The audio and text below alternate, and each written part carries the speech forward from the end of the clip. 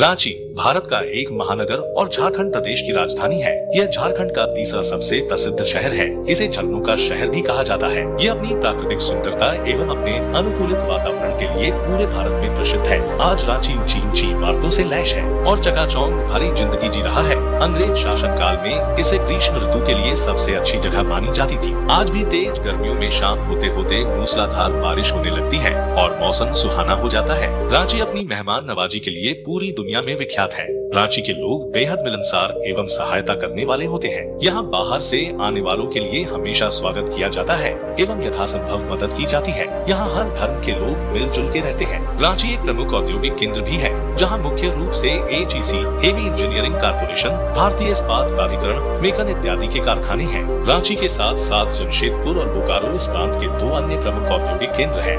दोस्तों, रांची को प्रधानमंत्री नरेंद्र मोदी के स्मार्ट सिटीज़ मिशन के अंतर्गत एक स्मार्ट सिटी के रूप में विकसित किए जाने वाले सौ भारतीय शहरों में से एक के रूप में चुना गया है। रांची भारतीय क्रिकेट कप्तान महेंद्र सिंह धोनी का गृहनगर होने के लिए प्रसिद्ध है। रांची में देश के कुल खनिज संसाधनों का लगभग 40 प्रतिशत हिस्सा है और अकेले रांची कुल उत्पादन का 50 प्रतिशत ऐसी अधिक है। रांची को पूर्व के मैनचेस्टर के नाम से जाना जाता है। फ्रेंड्स झारखंड की राजधानी रांची का अपना एक इतिहास है। इतिहासकारों के हिसाब से कभी इस इलाके में राज करने वाले नागवंशी राजाओं का यह अधिकार क्षेत्र हुआ करता था। छोटा नागपुर पठार का यह इलाका मुंडाओं के राज का हिस्सा रहा है। यही वजह है कि शहर के नाम के साथ साथ यहाँ के इलाकों के नाम पर भी इस भाषा का प्रभाव साफ़ दिखता है। दोस्तों, उत्तरी उड़ीसा, दक्षिणी बिहार, पूर्वी छत्तीसगढ़ और पश्चिमी पश्चिम बंगाल के आदिवासी क्षेत्रों के लिए एक अलग राज्य बनाने के लिए झारखंड आंदोलन के दौरान रांची प्रमुख केंद्र था। दोस्तों, वर्ष 2011 में जनसंख्या जनगणना के अनुसार रांची शहरी समूह की जनसंख्या 10 लाख के लगभग है। जो भारत का छियालीसवा सबसे बड़ा शहर है। पुरुषों की आबादी 51.3 प्रतिशत और महिलाओं की 48.7 प्रतिशत है। धनबाद ज़िले के बाद रांची, झारखंड का दूसरा सबसे अधिक आबादी वाला जिला है।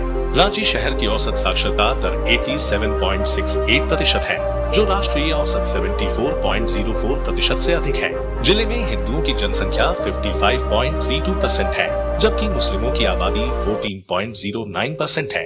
अन्य धर्मों की बात करें तो ज़िले में ईसाई 6.66 परसेंट सिख 0.17 परसेंट बौद्ध 0.03 परसेंट जैन 0.09 परसेंट है।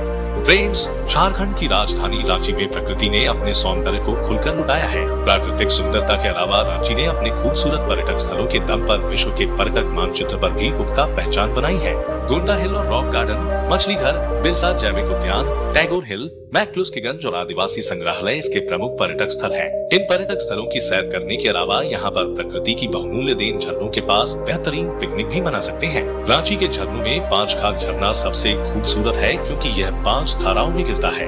यह झरने और पर्यटक स्थल मिलकर रांची को पर्यटन का स्वर्ग बनाते हैं और पर्यटक शानदार छुट्टियाँ बिताने के लिए हर वर्ष यहाँ आते हैं। दोस्तों, इसके अलावा भी रांची शहर में कई सारे टूरिस्ट पैलेस मौजूद हैं। दोस्तों, रांची शहर, दिल्ली, कोलकाता, मुंबई, चेन्नई और अन्य प्रमुख शहरों से अच्छी तरह से जुड़ा हुआ है। पर आज की वीडियो में इतना ही मिलते हैं। नेक्स्ट वीडियो में वीडियो अच्छी लगी हो तो वीडियो को लाइक और सब्सक्राइब करें।